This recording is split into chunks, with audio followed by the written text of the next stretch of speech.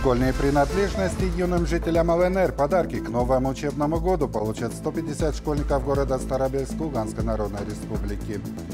Честный диалог с молодежью в Центре инновационного творчества состоялась встреча с активной молодежью. Сохранить историю в лицах. Проект «Хранители наследия», посвященный теме депортации, стал победителем в конкурсе Росмолодежи и получил грант. Кто примет участие в финале первенства России по боксу? В Черкеске прошел всероссийский турнир по боксу память Александра Давыдова.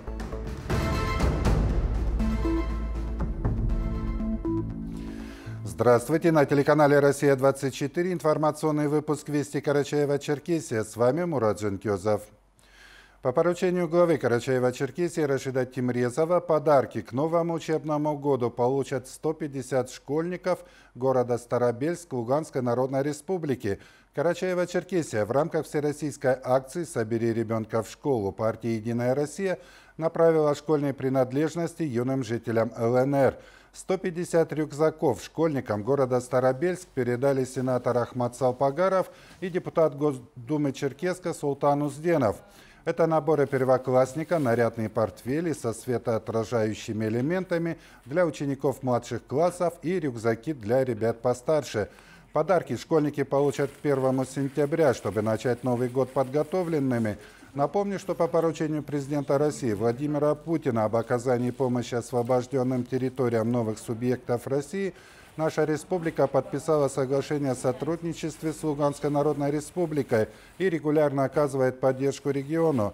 Акция «Собери ребенка в школу» проходит по всей стране каждый год в канун 1 сентября. Рюкзаки со всем необходимым для учебы вручают детям из многодетных, малообеспеченных, нуждающихся семей, детям-инвалидам, а с прошлого года и детям участников СВО. С момента старта акции в этом году в Карачаево-Черкесии школьные наборы уже получили более 100 семей. Карачаево-Черкесия активно и масштабно развивается уникальное для региона направление в сельском хозяйстве. В самом разгаре уборка голубики. Урожай на сегодня более 8 тонн, в планах до конца года собрать более 20 тонн. Об этом сообщил глава республики Рашид Тимрезов. Сегодня на полях Карачаева-Черкесии высажено 26 гектаров кустов ягоды – первые саженцы разных сортов голубики, среди которых Блёкроп, Дюк, Блюрей, Блюджей были посажены всего несколько лет назад. Через два года предприятие планирует выйти на полную мощность и увеличить размер урожая до 120 тонн в год. Важно, что урожай этих вкусных и очень полезных ягод доступен жителям Карачаева-Черкесии – а масштабы производства позволяют реализовывать продукцию за пределами региона. Рашид Тимрезов поблагодарил аграриев за благородный нелегкий труд и неоценимый вклад в продовольственную безопасность региона. При поддержке главы республики Рашида Тимрезова и Федерального агентства по делам молодежи в Карачаево-Черкесии стартовал Всероссийский высокогорный молодежный форум «Махар», в Махарском ущелье собрались более 200 представителей молодежных организаций и студентов России. В рамках форума пройдет грантовый конкурс «Росмолодежи». На реализацию идей можно выиграть до 500 тысяч рублей. Участники подали заявки на грантовый конкурс по 18 направлениям. Это проекты инклюзивной среды, молодежного туризма, организации занятости молодежи, экологического просвещения, вовлечения в научную деятельность и поддержки творческих инициатив – Мероприятие предусматривает четыре различные программы, в том числе образовательную, горно-пешеходную, творческую и спортивную. В наших следующих выпусках мы подробнее расскажем о работе форума «Махар». Открытый диалог с молодежью. В Центре молодежного инновационного творчества состоялась встреча активной молодежи с представителями власти. На ней обсудили результаты исследовательской работы над проектом «Клуб управленцев БОС-сообщества». Еще на примере успешных и известных людей провели открытый диалог. О значимости мероприятия расскажет Альбина Ламкова. На площадке ЦМИД собралась активная молодежь республики. Им на примере успешных и известных людей рассказали о том, как добиться успеха в любой сфере. Общение талантливых и неравнодушных людей с представителями власти, молодыми профессионалами и социальными активистами прошла продуктивно. Они видят свое будущее в этих людях. И, конечно же, тот опыт, который накоплен чиновникам, успешным бизнесменам, журналистам, это, конечно, то подспорье и э, важная информация для нашей молодежи. Думаю, что надо чаще встречаться с молодежью, надо слушать и держать руку на пульсе, чтобы сохранить нашу талантливую, креативную, хорошую красивую молодежь. Посредством реализации и создания проекта «Клуб управленцев БОС» сообщества определили развитие управленческого потенциала среди молодежи Карачаева-Черкесии. С каждым участником велась индивидуальная работа через аппаратно-программный комплекс. В будущем с помощью системы планируют вовлечь большое количество молодых людей в социальную жизнь республики, а также научить их при помощи БОС определять лечение многих заболеваний и реабилитацию. При помощи биологической обратной связи мы улучшали такие навыки, как память, концентрация внимания, э, управление эмоциями, э, работа в команде. То есть э, ребята погружались в себя, изучали себя, изучали работу своего мозга, своих эмоций, научились контролировать свои мысли, свои эмоции. Это все при помощи компьютерных технологий. Работа клуба управленцев БОС-сообщества показала хороший результат. Говорит об этом не только руководитель Алима Найманова, но и участники участники проекта? На мой взгляд, эффективность очень высокая. Э, если до этого у меня была повышенная тревожность, были проблемы со сном, были проблемы с концентрацией внимания, были проблемы с расслаблением, э, были проблемы с памятью. Сейчас я могу сказать, что э, большинство этих проблем, ну, либо ушли полностью, либо их какое-то влияние на мою жизнь сильно уменьшилось. И хочется еще отметить еще один положительный плюс этой технологии – он помогает тем, кто перенес ковид. В общем, ко мне вернулись все запахи. Опыт положителен, поэтому исследовательский интерес растет. Главное – продолжать работу, чтобы учесть все нюансы, отметила Алима Найманова по обратной связи действительно как бы от многих э, проблем э, ребята избавились, таких как тревожность, нарушение сна. И как раз тогда был период э, подачи проектов, такая очень жаркая пора. Многие ребята справились со своим стрессом. То есть как бы ту обратную связь, которую мы получили, для нас она очень ценна. То есть мы сделаем вывод, что наш проект был не зря, и мы хотим дальше развиваться. В будущем руководитель проекта планирует искать новую целевую аудиторию и, возможно, работа с другой возрастной группой. Альбина Ламкова, Мухаммед Ашибоков, Вести, Карчаева, Черкесия. Сохранить историю в лицах. Проект «Хранители наследия» стал победителем в конкурсе Росмолодежи и получил грант. Руководитель проекта Армида Капушева и известный в Карачаево-Черкесии фотограф Ренат Урусов загорелись идеей запечатлеть людей, прошедших тяжелые годы депортации. Алихан Лепшоков подробнее. Мы хотим сохранить память о нашем старшем поколении, которые пережили тяжелые годы депортации и внесли свой вклад в обучение и воспитание подрастающего поколения. Руководитель проекта «Хранители наследия» Армида Капушева и ее наставник реализации данной инициативы известный фотохудожник Карачаева-Черкесии Ренат Урусов постелит 92-летнюю бабушку Баблину Лепшокову, которая долгое время проработала учителем в ауле Кызыл-Октябрь. Ребята будут снимать семейные портреты с участием самих героев и их родственников. Важно отметить, что эта инициатива одержала победу в грантовом конкурсе Росмолодежи чтобы донести молодежи э, всю важность этих событий, а не просто приходить и диктовать им какие-то монотонные лекции. Эта идея мне пришла после э, фотошколы, которая проводилась тоже на базе Карачаево-Черкесского государственного университета. Вот. Я увидела, что молодежь очень интересуется фотографией, я увидела, что фотографией можно передать больше эмоций, э, вот, больше истории, чем э, какими-то словами, лекциями.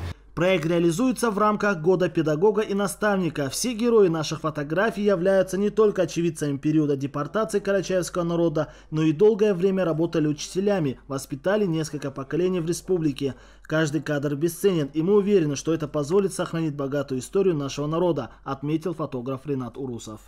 Тема у нас связана так или иначе с депортацией, потому что педагоги и наставники, которые прошли депортацию, их небольшая история – и, конечно же, этот проект, э, как и многие другие проекты, которые у меня были до этого, они тоже были связаны с депортацией. С каждым годом будет только набирать свою популярность и актуальность. И, к сожалению, это связано с тем, что с каждым годом, с каждым днем таких людей, вот наших бабушек, дедушек, становится все меньше и меньше.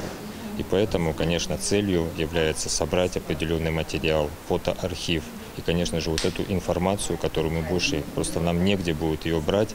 Несмотря на свой возраст, бабушка Баблина Лепшокова ведет активный образ жизни, не теряя чувства юмора. Смешные видео с ее участием покорили мир интернета.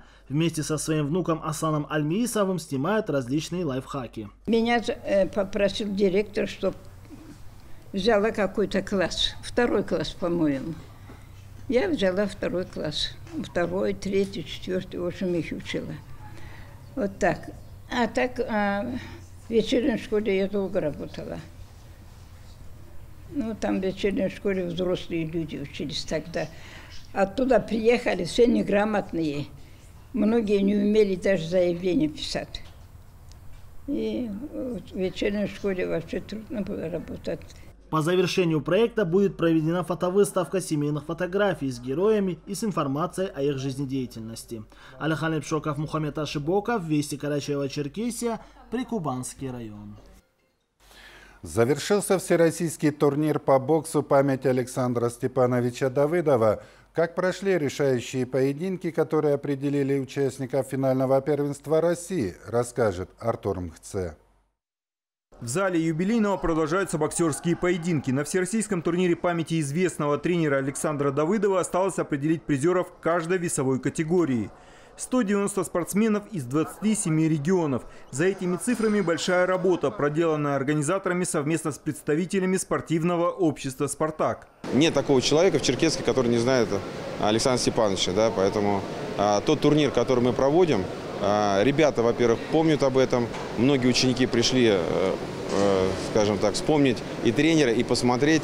И тот уровень, который мы сюда привезли, это 29, 27 э, субъектов Российской Федерации, 190 боксеров, он показывает о, том, а, что действительно а, жив турнир, а, сильна слава того тренера, который здесь был. Популярность в боксерских кругах наставника и активность его учеников помогли организовать в столице Карачаево-Черкесии соревнования, где на одном ринге оказались спортсмены из Якутии и Московской области, из регионов Северного Кавказа и Луганской республики. Когда до главного поединка остается совсем чуть-чуть, на итоговую победу всерьез рассчитывает каждый, чье имя еще значится в турнирной сетке. Артему Ващенко из Сочи удалось реализовать план на поединок, как результат ожидания решающего боя. В таких соревнованиях я уже участвую 4 года. И вот сегодня ну, просто я очень сильно хотел победы. Все же сейчас призовое место, первое место. И для меня оно очень сильно важное. И ну, хочу сказать всем, что ну, пускай занимаются и ну, в таких соревнованиях всегда выступают и побеждают. По словам представителей хозяев соревнований, Карачаево-Черкесия имеет отличные шансы взойти на верхнюю ступень пьедестала как минимум в одной весовой категории. Еще в нескольких многое зависит от раскладов по турнирной сетке и ряда причин субъективного характера. Однако поддержка зрителей стала бы дополнительным стимулом добиться наилучших результатов. Каковы промежуточные результаты наших спортсменов, спортсменов из Карачаево-Черкесии? Наши боксеры выступают неплохо. Уже несколько человек вышли в полуфинал. Есть, конечно, лидеры некоторых весовых категориях, победители округа, призеры первенства России. Вот надеемся на них. Стремление оправдать доверие тренеров, сила воли и жажда победы. Всего этого под крышей юбилейного будет предостаточно. Финальные поединки пройдут 19 августа, начало в 12 часов. Артур Мухце Мухаммед Ашибоков, Вести, Карчаев-Черкесия. По итогам всероссийского турнира памяти Александра Давыдова наибольшее количество победителей у Дагестана – четверо. Немало призовых мест, в том числе два первых у боксеров из Краснодарского края. Представители Карачаева-Черкесии завоевали одно первое, два вторых и несколько третьих мест. Излюбленное место отдыха жителей и туристов. Речь идет об овеянном различными легендами озере Каракель – оно расположено в Тиберде. В курортный город отправилась Алла Динаева, которая расскажет о прекрасном водоеме. Точная информация об этом природном объекте и результаты исследования озера Русским географическим обществом в ее репортаже.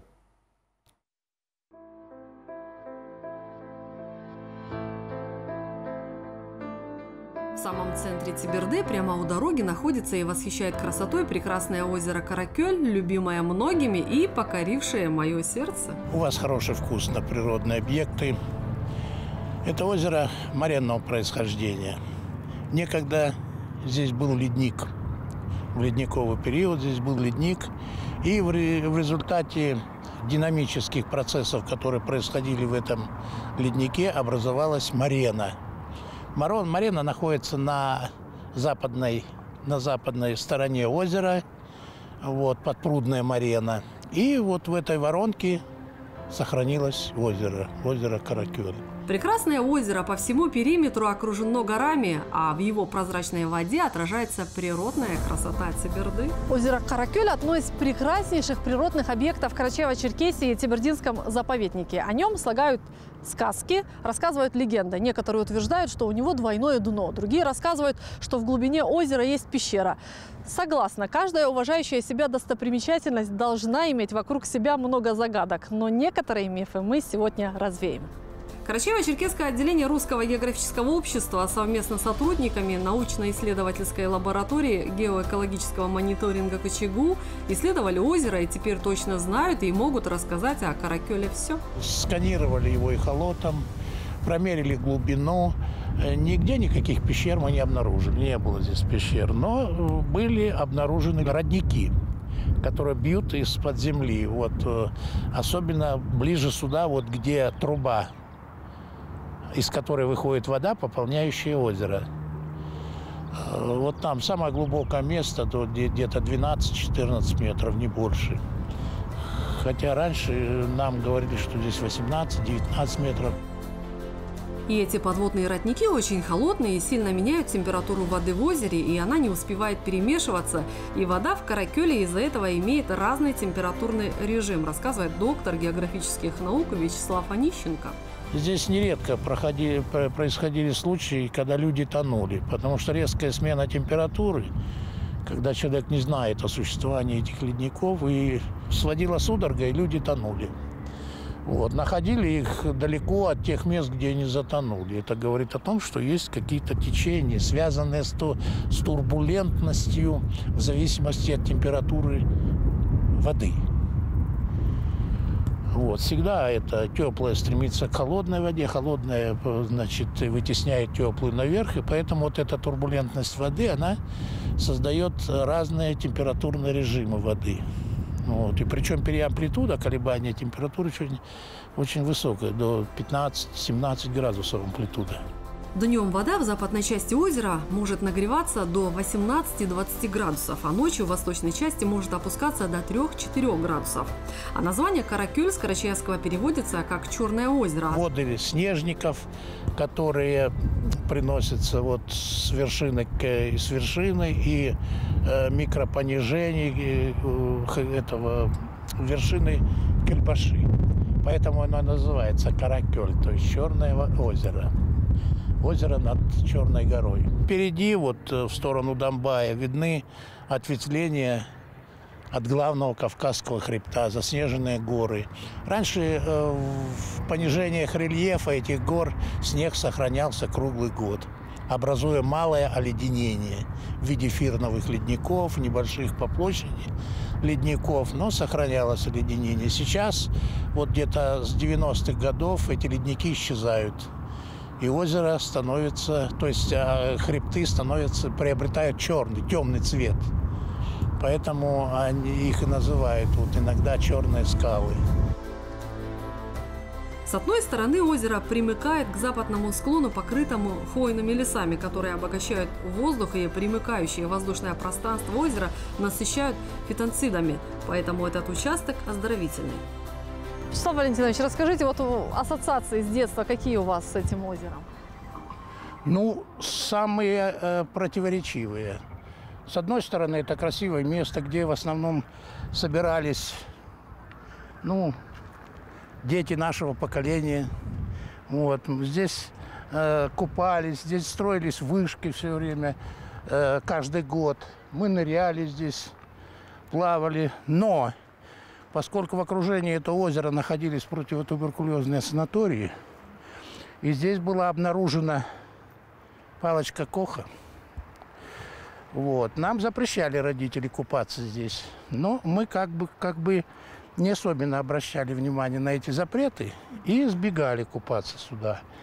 Когда мы купали в бур... купались в бурлящих потоках реки Тиберды, нам никогда родители за это ничего не говорили. Но когда мы приходили купаться сюда, они нас ругали за это. Это вас останавливало? Ну, иногда мы прислушивались, но тем не менее поступали так, как окружающее нас общество. А это какие годы было? И потом все в Это, это как бы возбудитель легочного туберкулеза. Но я не знаю такого случая, чтобы кто-то из местных людей, вот коренных местных жителей, заболел здесь туберкулезом. Сюда приезжали э, отдыхающие на последней стадии, с последней стадией туберкулеза. И побыв здесь, ну, месяца три, путевка дорого тогда стоили, но тем не менее отдыхающих было много. Побыв здесь месяца три, э, попив местного айранчика, погуляв на этих вот терентур, теренкурных маршрутах, вот, уезжали отсюда зарубцевавшимися легкими, без всяких операций, и жили до глубокой старости, забыв о своих болезнях. Вот такая исцеляющая способность этого курорта. А в 60-е и 70-е годы Каракель сильно стала зарастать тиной и водорослями. И в течение года вода в водоеме меняла цвет, и озеро пропадало. Но местные жители запустили сюда рыбу, толстолобика, сазана, белого амура, и тина исчезла, и озеро сохранилось и продолжает радовать жителей и гостей курорта. А насладиться прекрасным видом, запечатлеть на фотоаппараты и, конечно, подышать хвойным воздухом сюда приезжают люди со всех концов России. Для Руслана и Рамины Абаджевых этот пенек у Каракеля излюбленное место.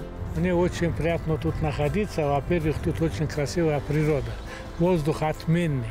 Люди прекрасные, гостеприимные. Мы уже третий раз приезжаем сюда, и дай бог, сколько будем жить, столько будем приезжать сюда. Очень хорошее место, воздух хороший. Еще приедем через неделю-две, как пыльца пойдет. Пыльца Все хорошо. А вот и неожиданный для нас обитатель озера Черепаха. Греясь на солнышке, она накапливала тепло в свой панцирь и позировала нашей видеокамере. Но когда мы решили подойти еще ближе, сползла в воду и уплыла в свое подводное царство. Алла Динаева, Али Бастанов, Вести, Карачева-Черкесия, Тиберда. Сегодня в России отмечается День офицера. Смотрите интервью с начальником Карачаевского городского отдела Росгвардии по Карачаево-Черкесии Керимом Богатыревым.